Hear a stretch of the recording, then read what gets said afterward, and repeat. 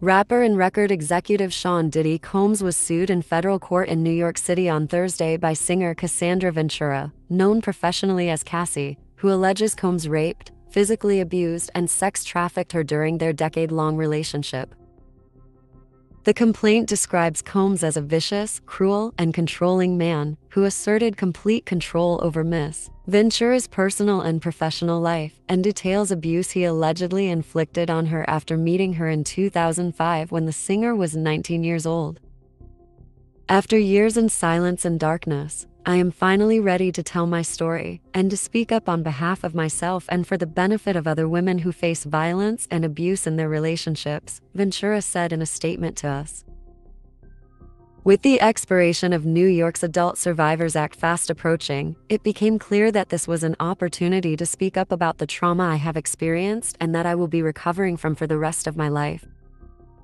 The suit levels multiple allegations against Combs, including that he raped Ventura in her home after she tried to leave him, that he often punched, beat, kicked, and stomped on Miss Ventura, resulting in bruises, burst lips, black eyes, and bleeding, and that in 2012 he blew up rapper Kid Cudi's car after finding out he was romantically interested in Ventura. Combs also allegedly forced Ventura to engage in sex acts with male escorts as he stood by and filmed the encounters while masturbating, according to the suit. The suit adds that Combs intimidated Ventura by demanding she carry a firearm for him and introduce Miss Ventura to a lifestyle of excessive alcohol and substance abuse and required her to procure illicit prescriptions to satisfy his addictions.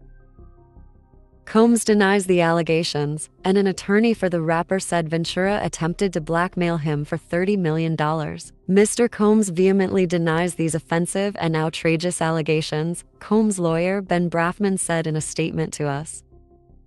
For the past six months, Mr. Combs has been subjected to Miss Ventura's persistent demand of $30 million under the threat of writing a damaging book about their relationship, which was unequivocally rejected as blatant blackmail. Despite withdrawing her initial threat, Miss Ventura has now resorted to filing a lawsuit riddled with baseless and outrageous lies, aiming to tarnish Mr. Combs' reputation and seeking a payday, he added.